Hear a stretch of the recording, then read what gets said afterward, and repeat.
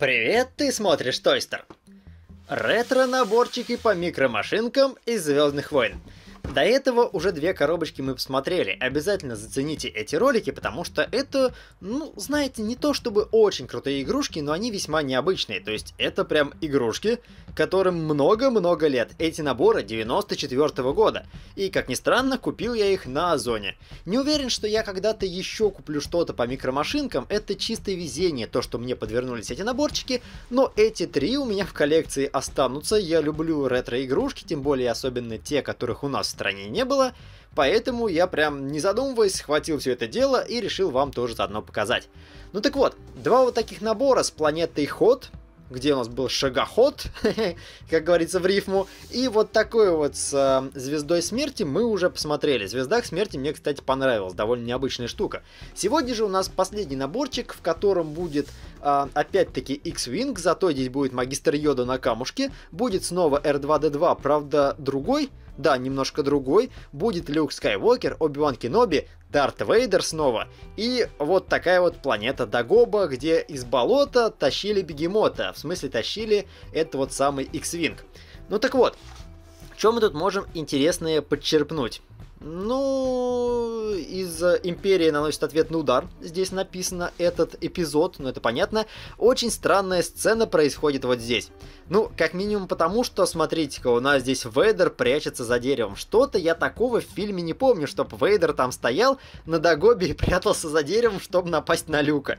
Но арт, согласитесь, довольно классно, довольно миленько смотрится. Он смотрится олдскульно.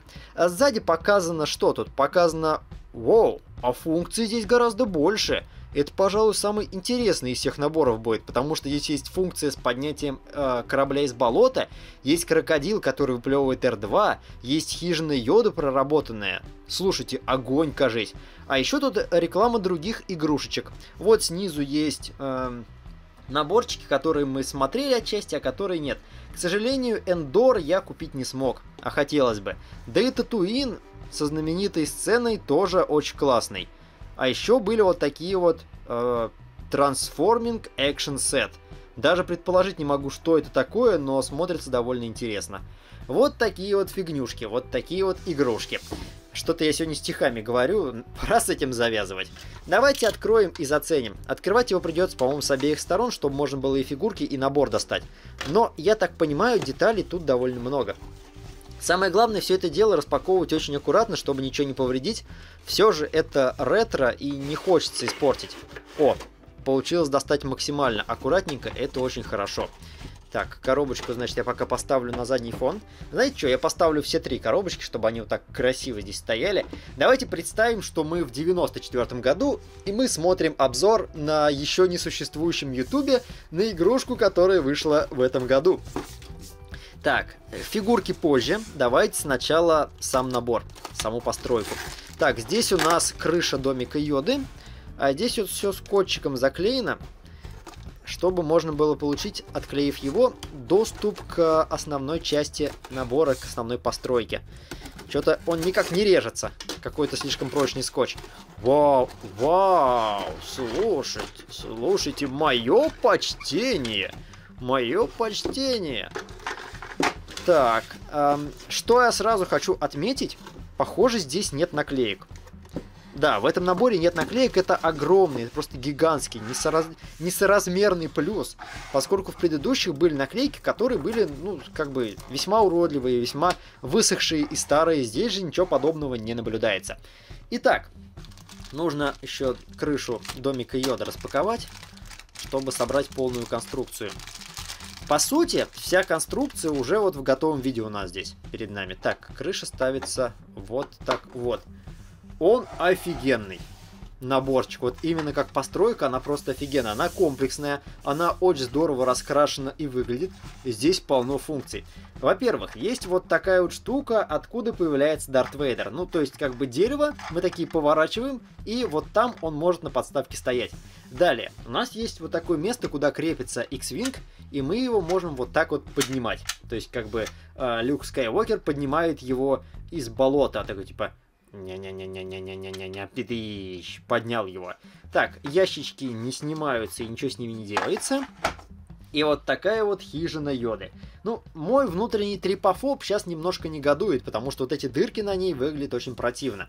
Но снимаем крышу и видим, что тут у него весьма миленько. У него есть стол со всякой посудой, есть кроватка, есть маленький камин. Понятно, что все это дело не раскрашено, но с другой стороны, никто не мешает вам это дело раскрасить и доработать. Основная детализация здесь везде сделана. Корни прорисованы, камушки, болото покрашено, а чего вам еще надо в такой ситуации? Так, верну крышу пока. Еще как-то работает, функция должна работать с этим крокодилом. Только я не совсем понимаю как. А, я понял. Она работает значительно примитивнее, чем я предполагал. Да. Она, короче, не открывает пасть крокодила, она будет выталкивать отсюда R2-D2. Ну что ж, а, чтобы полностью окунуться в мир этой постройки, нам нужно достать еще фигурки, чтобы можно было все это дело заценить. И в отличие, кстати, от предыдущих, здесь вот э, корабль будет непосредственную роль играть. Так, Йода, Люк, Люк Скайуокер. Так, Люки мы вынем потом. Э, Вейдер. Ну давай, Вейдер, вылезай. Чё-то эти ребята вылезать не хотят. О, Оби-Ван вылез. R2, давай. R2 вылез. Так, а знаете что? Я, пожалуй, наверное, Люка... А, нет, все, вынул. Хотел сказать, выну за кадром, а я их и так вынул. Так, сейчас осталось Вейдера выцепить отсюда. Ну, товарищ Вейдер, пожалуйста, выходите. Выходите, это милиция. Так, что же касается кораблика, то выну я его за кадром, потому что его трудно вынимать. Всех этих ребяток мне удалось вынуть без каких-либо повреждений, что не может, соответственно, не радовать. Итак, давайте начнем с самого маленького персонажа. Так, где бы мне тут... О, поймать фокус. Вот такой R2-D2. Кстати, в данном случае детализация и прокраска у него значительно хуже, чем у предыдущей версии. Уж не знаю почему, но здесь они как будто не старались. Конечно, пытались, пытались сделать, но прокраска хуже. Далее, Люк Скайуокер. Ой, Люк похож на какого-то Ивана Дурака. А нет, извиняюсь, он похож на известного немецкого художника, потому что у него такие усики, вот, вот смотрите, вот у него такие усики здесь под носом, прям как будто это не Люк. Или как будто это какой-то Люк Скайуокер из Германии 39 -го года. Но в плане детализации, одежды, проработки складок, э, проработки складок, он очень здорово сделан. То есть к этому вопросов нет. Далее у нас Оби-Ван.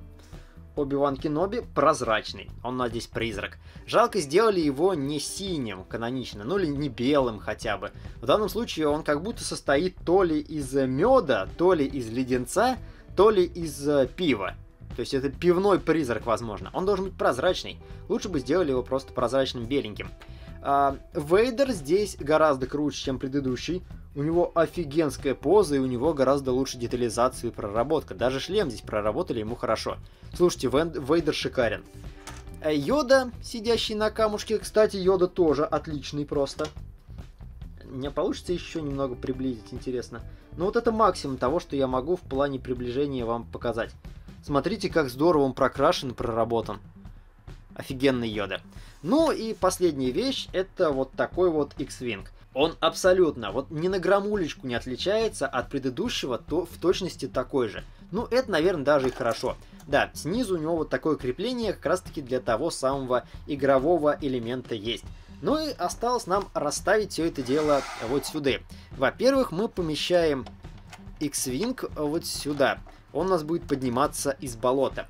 Далее, мы Вейдера... А здесь можно как-то это дело? Никак, да? То есть нам Вейдера надо в дупло засунуть. Вейдер, залазь в дупло. Он как бы там должен вот тут стоять, но, блин, это очень непросто сделать. Вот, вроде попал. Вот так, Вейдер у нас в дупле стоит, и его надо повернуть. Далее, R2-D2 нужно засунуть вот сюда вот вот сюда в рот этому крокодилу. Люк у нас стоит и пытается поднять корабль, допустим, вот здесь. Призрак э, Оби-Вана стоит здесь. И такой вот типа Йода на камне сидит и палит, что там делает Оби-Ван. В общем, вот такая у нас сценка получается.